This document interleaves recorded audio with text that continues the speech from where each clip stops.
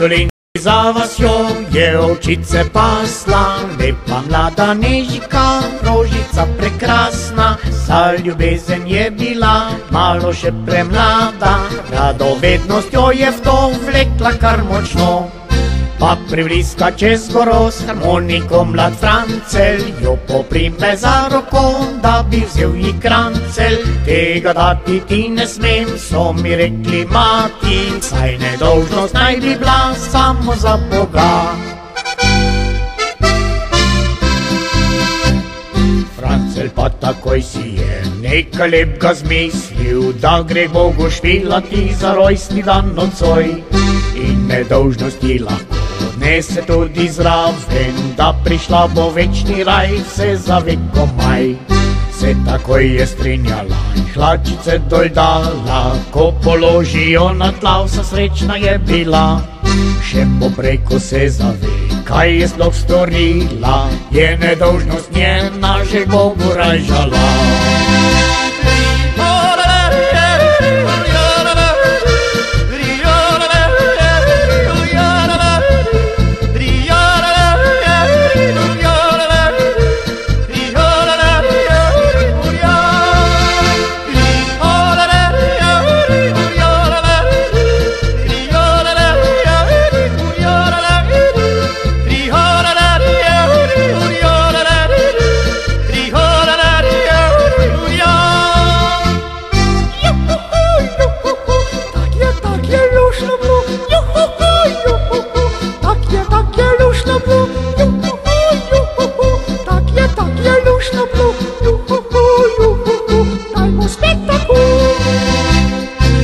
Domov privliska, k mamici vesela, že poripeliska, palica debela, ni naiv naivnica, kaj si mu verjela, saj je muzi muzikant, ten velik prevarant.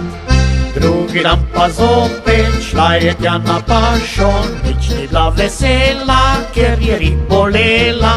Ko pa pride France k njej, se je pokesala, žal mi je pa kar močno, da tep sem dala jo.